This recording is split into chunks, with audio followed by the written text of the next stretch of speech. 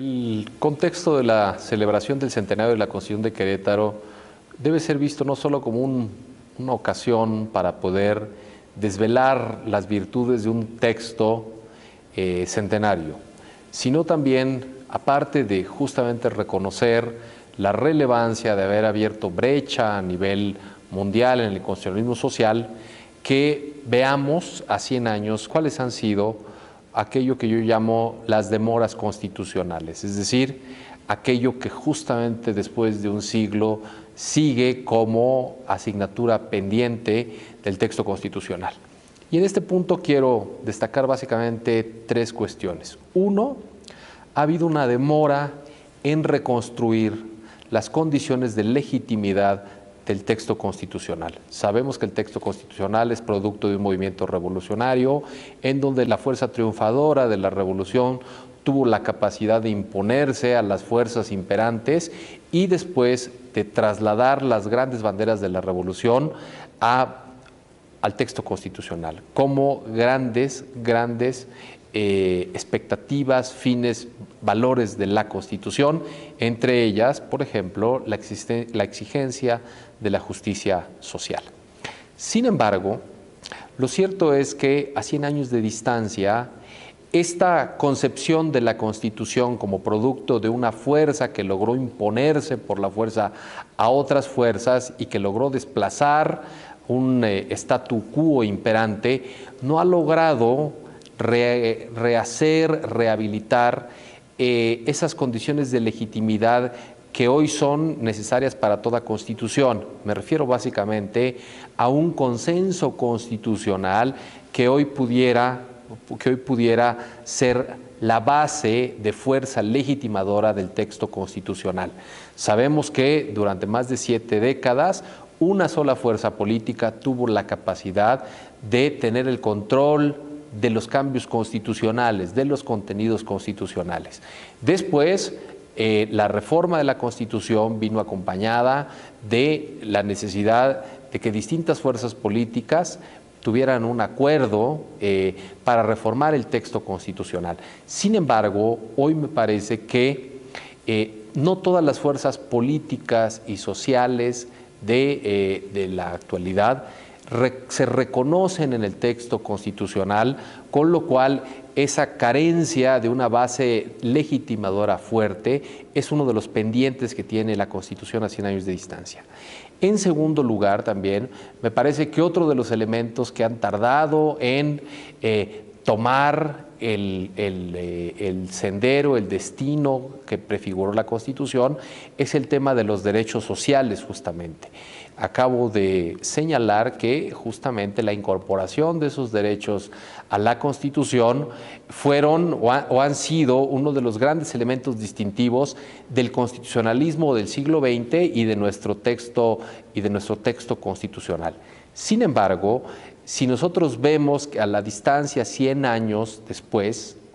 esos derechos sociales no han logrado generar el tipo de sociedad que se tenía en mente en, en 1917. La idea era construir una sociedad igualitaria, una sociedad en donde todas las personas tuvieran acceso a un bienestar, a condiciones muy dignas para su desarrollo en el ámbito educativo, en el ámbito eh, de la seguridad, eh, de la seguridad social, en el ámbito de la salud. Pero si nosotros vemos a la distancia, nos damos cuenta que hoy somos un país que tiene a más del 50% de su población en la pobreza y que también un porcentaje alto de, esos, eh, de esa población que está en pobreza se encuentra en pobreza extrema, nos vamos a dar cuenta que la Constitución ha fallado en esa aspiración principal de la justicia social, la justicia social vista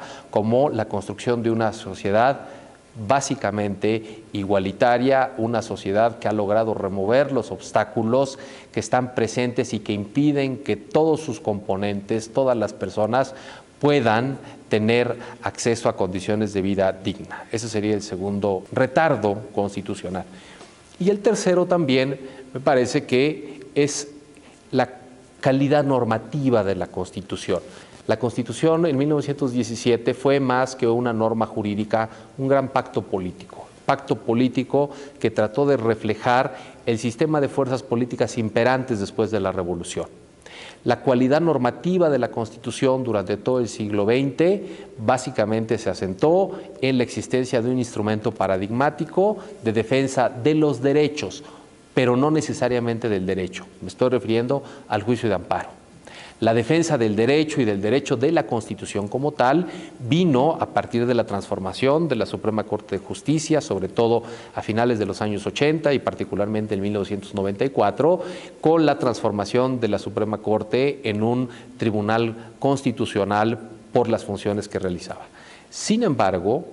nos hace falta avanzar también en la cualidad normativa de la Constitución, que esa es sobre todo la vocación transformadora que tiene la Constitución porque logra dirigir los esfuerzos de los poderes públicos hacia la constitución de los objetivos y los valores constitucionales. Justamente eh, esa cualidad normativa debe orientar políticas públicas de los ejecutivos, debe orientar las decisiones legislativas de los órganos parlamentarios y debe orientar también las decisiones judiciales de los tribunales. En esa parte ha habido un avance, sí, ha habido un avance muy importante, pero me parece que justamente cuando vemos tema por tema lo que se ha dejado de hacer, nos damos cuenta que esa calidad normativa, la concepción, el entendimiento de la Constitución como norma jurídica todavía tiene pasos que cumplir hacia adelante para que realmente la cualidad transformadora de la Constitución en el ámbito social cumpla con su cometido. De tal suerte que eh, esta es una ocasión, el centenario de la Constitución, para ver si lo importante que es tener un texto centenario, un texto que ha reafirmado su vocación de permanencia y que hoy forma parte de la historia constitucional de nuestro país, pero también es el momento más oportuno para analizar por qué la Constitución a 100 años de distancia ha tenido todavía estos pendientes, estos retrasos transformadores que hoy en día son muy importantes para una sociedad como la nuestra. Muchas gracias.